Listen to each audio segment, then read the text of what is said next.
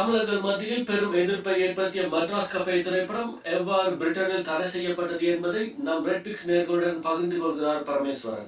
Madras cafe இந்த திரைப்படத்தை பற்றி எங்களுக்கு தமிழ்நாட்டில் உள்ள தமிழ் உணர்வாளர்கள் எங்களுக்கு இந்த படத்தை பற்றி தெரியப்படுத்தியிருந்தோம் அதன் பிறகு அந்த மெட்ராஸ் பட குழுவினரோடு அவர்கள் தொடர்பு கொண்டு பேசியிருந்த போது அந்த திரைப்படத்தை ஜான் ஆப்ரஹாம் அவர்கள் திரையிட்டு காட்டுவதாக கூட ஒப்புதல் அளித்திருந்தார் அதன் பிறகு அதே போன்று அந்த திரைப்படத்தை அனைவரும் அந்த திரையில் சென்று பார்த்திருந்தார்கள். அந்த திரைப்படம் வெளியாகும் முன்பு.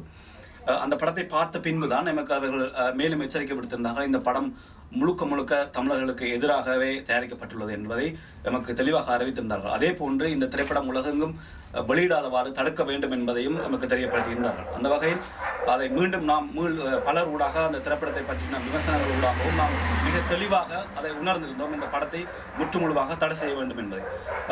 ஸோ அது அதன் காரணமாக பிரித்தானியாவில் இந்த திரைப்படம் வெளியாக இருந்தது. ஆஹ் நாம் பல வழிகளில் பல முனைகளில் இதை தடுப்பதற்கான முயற்சிகளை மேற்கொண்டிருந்தோம். பிரித்தானியில் உள்ள த தமிழ் அமைப்புகள் பல அமைப்புகள் பல வழிகளில் பல கோரிக்கைகளை சினிவேல்டு அந்த திரையரங்கு தான் பிரித்தானியாவின் மிக பெரும் திரையரங்கு. அவர்களுக்கு பிரித்தானியா முழுவதும் பல நூறு திரையரங்குகள் இருக்கின்றன. சொல்லப்போனால் பல ஆயிரம் திரையரங்குகள் இருக்கின்றன. அவர்களிடம் தான் மொத்தம் மொத்தமாக அந்த படத்தை பிரித்தானியா முழுவதும் திரையிட இருந்தார்கள். பல மொழிகளில் தமிழ் ஆங்கிலம் ஹிந்தி போன்ற மொழிகளில் இந்த படங்கள் வெளியாக இருந்தது. ஆகவே இந்த பல கோரிக்கைகள் அனுப்பின பின்பு சினிவர் திரையரங்கு ஒரு முடிவெடுத்தது. தமிழில் இந்த திரைப்படத்தை நாங்கள் வெளியிடாமல் தடுக்கின்றோம். அதை மட்டுமே செய்ய முடியும் என்று முதலில் அனைவருக்கும் பதில் அனுப்பியிருந்தார்கள். அந்த பதில் எமக்கும் கூட கிடைத்திருந்தது. அதன் பின்பு அது போதாது. இந்த பதில் நமக்கு போதாது. இந்த படம் தமிழ் மொழியை தவிர மிக முக்கியமாக மற்ற மொழிகள் தான் வெளியாக கூடாது என்பதை அவர்களுக்கு மிக தெளிவாக அறிவுறுத்தி அஹ், மீண்டும் அவர்களுக்கு கோரிக்கைகளை முன்வைத்திருந்தோம். அதே போன்று அஹ், தமிழ் அமைப்புகளூடாக தலைமை அவருடைய தலைமை அலுவலக முன்பாகவும் ஒரு போராட்டம் முன்பையும் அஹ், தமிழர்கள் பிரித்தானியாவில் நடத்தியிருந்தார்கள். அதன் பின்பு அஹ், அதன் வீரியத்தை உணர்ந்த பின்பு. இதையும் தாண்டி அஹ், திரைப்படம் வெளிவரமாக இருந்தால் திரையரங்குகள் முன்பு நாம் போராட்டத்தை நடத்த வேண்டிய ஒரு நிலை உருவாகும் என்பதையும் அவர்களுக்கு மிக தெளிவாக எடுத்து காட்டியிருந்தோம். அதற்கு பின்பாக அவர்கள் அனுப்பிய முடிவு என்பது உண்மையில் மிகவும் மகிழ்ச்சிகரமான இருந்தது. பிரித்தானியா முழுவதும் அனைத்து மொழிகளிலும் இந்த படத்தை நாங்கள் இனி திரையிட மாட்டோம் என்பதை அதிகாரப்பூர்வமாக அனைவருக்குமே அவர்கள் அனுப்பியிருந்தார்கள். யார் கோரிக்கை விடுத்திருந்தார்களோ அவர்கள் அனைவருக்கும் அவர்கள் அந்த பதிலை அனுப்பியிருந்தார்கள். அந்த பதில் எனக்கும் கூட கிடைத்திருந்தது. அதே போன்று அதற்கு பிறகு சினி வேர்ல்டு என்ற மிகப்பெரும் திரையரங்கு பிறகு இவர்கள் படக்குழுவில் உண்மையில் அந்த படத்தை எப்படியாவது வெளிக்கொண்டு வேண்டும் என்று கங்கணம் கட்டி கொண்டுதான் இருந்தார்கள். அதன் பின்பாக நாம் இன்னொரு அவர்கள் செய்த முடிவு என்னவென்றால் அடுத்த உள்ள திரையரங்குகள் அணுகி பார்த்தார். ஆனால் எந்த திரையரங்கும் கிடைக்கவில்லை.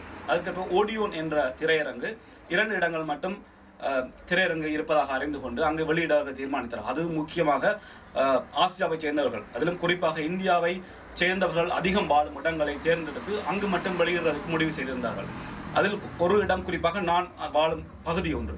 ஆகவே அங்கு நாம் அவர்களை உடனடியாக தொடர்பு கொண்டு இந்த படம் ஏற்கனவே சினிமாவில் தடை செய்ததை பற்றியும் இதை படத்தை வெளியிட்டால் இவ்வளவு சிக்கல்கள் வரும் என்பதையும் அவர்கள் மிக தெளிவாக எடுத்து கூறியிருந்தோம். தொலைபேசி ஊடாக மின்னஞ்சல் ஊடாக ஆஹ், சமூக வலைத்தளங்கள் ஊடாக அவர்கள் அதை தெரியப்படுத்தியிருந்தோம். காலையில் அனுப்பிய மின்னஞ்சலுக்கு உடனடியாக அதாவது கிட்டத்தட்ட மதியம் முடிவதற்குள்ளாகவே எமக்கு அவர்கள் பதிலை அனுப்பியிருந்தார்கள். அதில் நாங்கள் மிக தெளிவாக அவர்கள் குறிப்பிட்டிருந்தோம். இது ஏற்கனவே சினி வேர்ல்டில் பிரித்தானியா முழுவதும் தடை செய்யப்பட்ட ஒரு திரைப்படம். அடுத்த கட்டமாக உங்களிடம் வந்திருக்கிறார்கள். இது இந்த படத்தினூடாக ஒரு மிகப்பெரும் ஒரு ஒரு உலகில் தொன்மை வாய்ந்த ஒரு இனத்தை இழிவுபடுத்தி இந்த திரைப்படம் வெளிவந்திருக்கிறது. ஆகவே தடை செய்ய வேண்டிய உண்மையான சம்பவத்தை அவர்கள் எடுத்து கூறியிருந்தோம். அதன் பின்பாக அவர்கள் அதை நல்லா உள்வாய்க்கொண்டு அந்த படத்தை தாமும் தடை செய்கின்றோம் என்பதை நமக்கு மீண்டும் அவர்கள் மின்னஞ்சலூடாக அன்று உடனடியாகவே உறுதிப்படுத்தியிருந்தார்கள். அஹ் இதன் வழியாகவே பல போராட்டங்கள் பல தமிழர்கள் பல ஆயிரம் தமிழர்கள் இதில் பங்கேற்று கையெழுத்து வேட்டைகளோடு நடந்தது. தொலைபேசியூடாக மின்னஞ்சலூடாக சமூக வலைத்தளங்களூடாக தங்கள் கண்டனத்தையும் இந்த படம் ஏன் வெளிவரக்கூடாது என்பதையும் அஹ், அங்குள்ள திரையரங்குகளுக்கு தெரியப்படுத்தினூடாகவே இந்த படத்தை பிரித்தானியாவில் நாம் முழுமையாக தடை செய்ய முடிந்தது. Purushothaman Red Pix News London